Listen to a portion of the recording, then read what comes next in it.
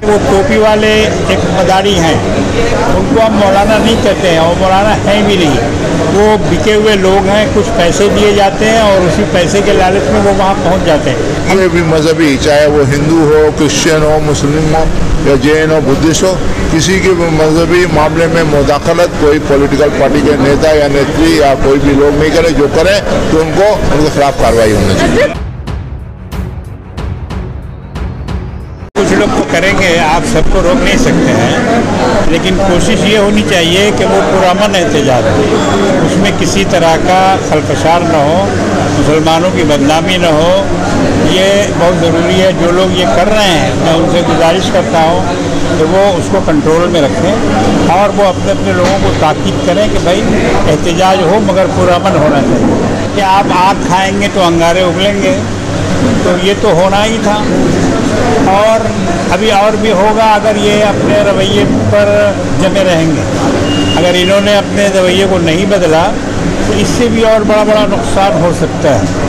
इसलिए हुकूमत को अभी से संभल जाना चाहिए और ऐसे लोगों पर लगाम लगाना चाहिए कि वो दूसरे के मज़ाहिब पर या दूसरे के रहनुमाओं को पर कीचड़ उछालें।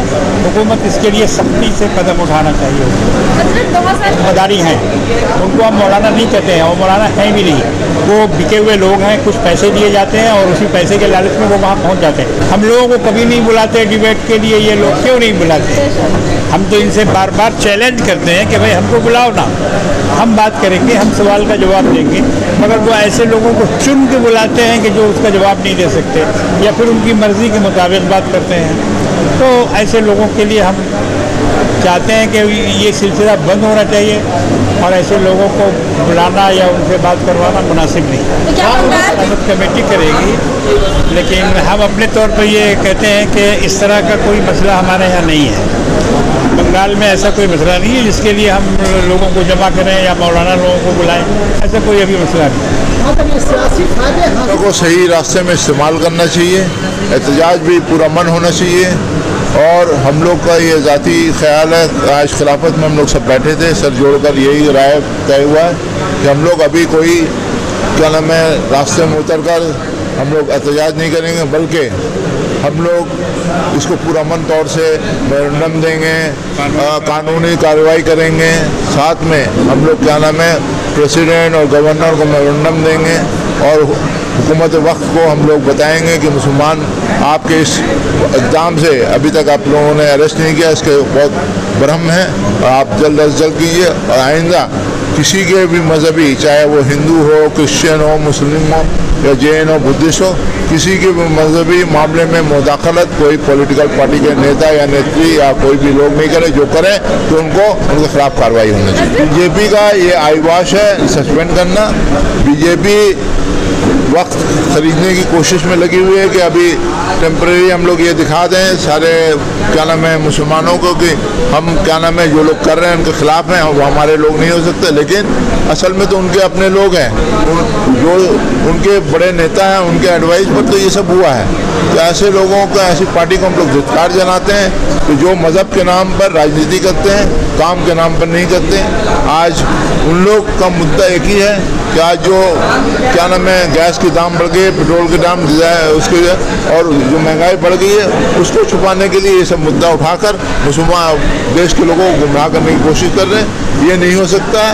दूसरी है कि आज इसके खिलाफ खाली मुसलमान नहीं बल्कि हर मज़हब के लोग, अच्छे लोग जो भी मज़हब के, दूसरे मज़हब के लोग हैं, वो भी आपके हमारे साथ हैं, और इसमें हम लोगों को साथ दे रहे हैं कि हम लोगों को सही कदम उठाना चाहिए, और सही कदम यही रहेगा कि एफआईआर भी हो, गवर्नमेंट उसको अरेस्ट करे नहीं करें हम लोग उसके बाद उसका राय अमला जो ठीक है हम लोग करेंगे और उसके बाद हम लोग आगे की रणनीति ठीक करेंगे। उसने क्या कहा उससे हमको मज़हब हम दूसरे मज़हब के एहतराम करते हैं। अगर कोई अपना छोटापन दिखाना पड़ता है अपना जात दिखाना चाहता है अपना रुतबा कम करना चाहता है तो इस तरीके की बात वो कर सकता है। हम लोग से इससे हम लोग कोई भड़क नहीं उठेंगे। लेकिन ये ज़रूर कहेंगे कि सरकार को ऐसे लोगों के खिलाफ कार्रवाई ज़रूर है कौम मिलत को को पैगाम देना यही चाहेंगे कि ऐसे हालात में कुरान और हदीस की रूह से क्या कार्रवाई होनी चाहिए, उसके मुताबिक हम लोग को चलना चाहिए।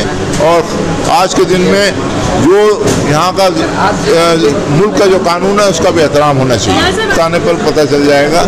लेकिन ये ज़रूर कहेंगे कि हर आदमी का अपना, खुद का ज़ाती क्या नाम है फ्रीडम है कि वो कोई मामले में तबसरा करें, नहीं करें। सीएम है, सीएम से आप ये पूछिएगा क्यों आपने अभी तक कोई कमेंट नहीं किया, कोई बातें नहीं कही। लेकिन आज खिलाफत के सदर के हिसाब से हम लोगों ने तय किया है कि हम लोग एफआईआर भी करेंगे, मेमोरेंडम भी देंगे, गवर्नर को भी देंगे, प्रेसिडेंट को भी देंगे सीएम को।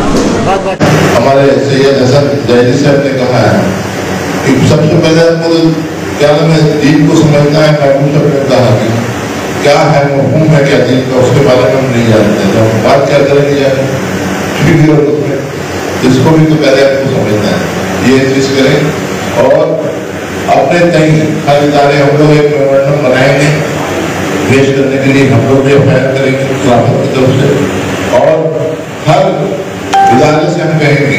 हर नाम है हमारे जो मदरसे हैं, उनसे भी कहेंगे कि आप लोग बड़ाई मेहरबानी एक प्रोटेस्ट लेटर ज़रूर से ज़रूर आप क्या नाम है गवर्नर के पास चीफ मिनिस्टर के पास अर्जी लिखिए कि आप। इन लोगों के खिलाफ कार्रवाई की, उधर पर प्रोटेस्ट नहीं करें क्योंकि हमने देखा, मस्जिद में बेकाबू क्या नाम है, तस्वीरें होती हैं और उसमें क्या है, लोग उतर जाते हैं और फिर उसके बाद केस होता है मुकदमा होता है, परेशानी होती है, और फिर उसके बाद आपका मामला जो असल मामला उतर जाता है, फिर आप कोर्ट का चक्कर लगाने लगते हैं, दूसरे मामले में फंसे जाते हैं। ये नहीं होना चाहिए। आप सबों से गुजारिश रहेगी कि खिलाफत, जो मीटिंग बुलाई उसमें सब आप आए हम लोग खिलाफत के कहीं से आपको बता दें खिलाफत अब जो यही बैठ कर नहीं है। हम लोग कोशिश कर रहे हैं, खिलाफत का नया दस्तूर उसको जल्द पेश करके अडप्ट करके सारे बंगाल में हर मस्जिद, हर मदरसे को जोड़ दें खिलाफत के साथ ये हम लोग काम कर रहे हैं। ताकि अभी जिस तरह आपको हमको कोई एलिगेशन करे नहीं करे, उतनी अहमियत नहीं देता है। लेकिन जिस दिन आप सारे बंगाल से जुड़ जाइएगा तो आपको खुद ब खुद अहमियत आपका देने शुरू कर देंगे, चाहे वो सरकार हो, चाहे दूसरे इदारे हों आप अहमियत देना शुरू कर देंगे। और आप सबसे यही कहकर कि आप सब जो लोग अभी तक नहीं हैं, किसी खिलाफत के मातहत आप काम करना नहीं चाहते, खिलाफत आपको मातहत काम करना चाहता है। अपनाए ना भी नहीं हम लोगों को इसमें अजब नहीं है। कि खिलाफत ही लीड लेकर नहीं आप करें ना, हम लोग आपके साथ हैं। अपनाए अगर खिलाफत नहीं जाता है तो आप बोलेंगे, खिलाफत आप सबके साथ है, सबके साथ मिलकर हम लोग जो भी अमला तैयार करेंगे अब आगे क्या होना चाहिए, उसके बारे में हम लोग रास्ता ठीक करेंगे। यही कहकर और आप सबों से गुजारिश रहेगी कि आप लोग एक एफ़ भी करें, दूसरा मेमोरेंडम भी गवर्नर को दें। और अगर मेमोरेंडम नहीं दे सकते तो पोस्ट कार्ड ज़रूर खरीदिए। एक एक आदमी दो सौ चार सौ पाँच सौ पोस्ट कार्ड हो, जो मस्जिद से निकलता है, उसे साइन करवाइए, नाम लिखाइए एड्रेस निकालिए और उसमें मटेरियल रहेगा कि नबूर और जो लोग क्या हमें हमारे पैगंबर के बारे में या कुरान